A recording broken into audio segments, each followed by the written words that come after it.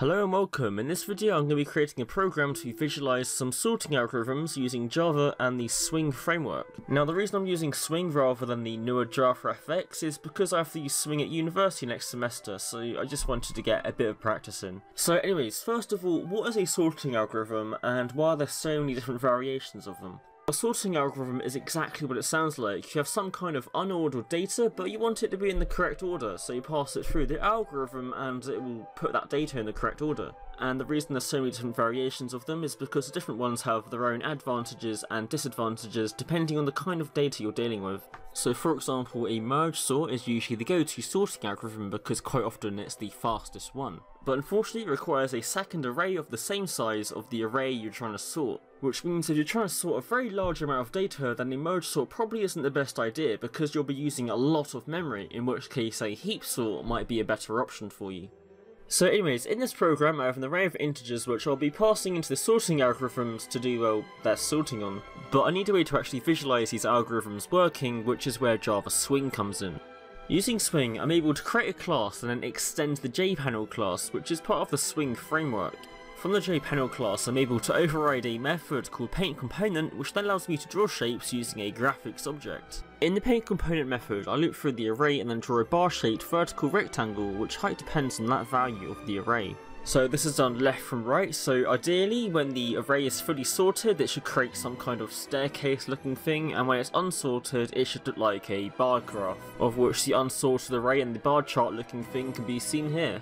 So now that the array is visualized, it was time to actually begin implementing some of the sorting algorithms, starting off with the bubble sort. So the way bubble sort works is that it loops through the array looking at the current value as well as the next value in the array. And if the next value is smaller, then it will swap them around, and it will keep doing this until the array is fully sorted.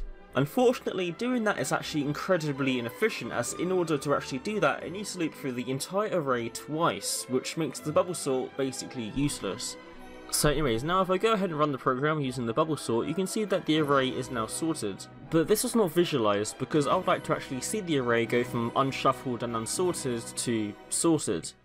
So I'm not sure if this is the best solution, but whatever. So rather than passing the raw array to the bubble sort method, I instead pass an object which contains the array as a, well, a member. And then inside of the bubble sort, rather than swapping the numbers directly, I call a method called swap, which is a member of the object which contains the array.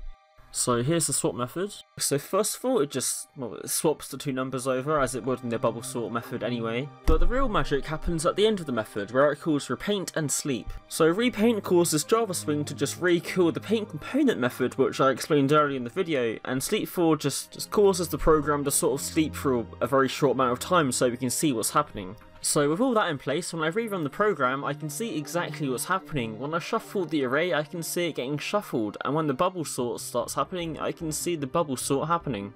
So now we have the visualization system in place, we can start creating some more sorting algorithms to see how they work. Um, so let's create the insertion sort.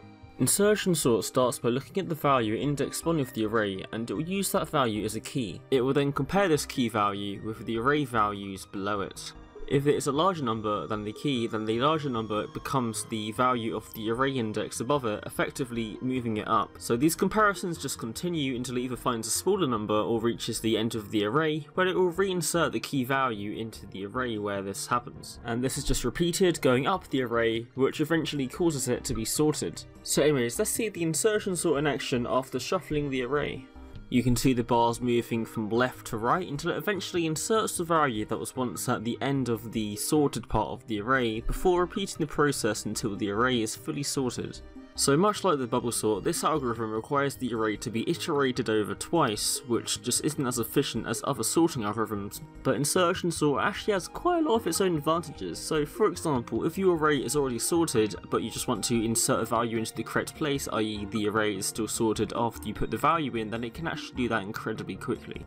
So anyways, let's do another method of sorting, which is called the selection sort. So selection sort works by, again, looping through the array twice using nested loops, but in the inner loop it will try and find the index of the smallest unsorted value and then swap that number with whatever value that the outer loop is currently at. And this eventually leads to the array being sorted. So this can be seen working here. The algorithm is selecting the lowest value in the unsorted part of the array and then putting that in the correct position making the array sorted. After implementing the selection sort, I just continue to implement some more algorithms such as quicksort, gnome sort and merge sort which can be seen here. Um, but unfortunately, because I've just been very busy lately, explaining all of these algorithms and more would have just taken a bit too long for my liking, so if you want to know more about these algorithms, I've left a lot of links in the description below which I use to learn these algorithms myself. So anyways, I'm going to implement some more of these algorithms, then do some finishing touches, and then in a few days time I will release a video which will show all of these algorithms implemented here, one after another.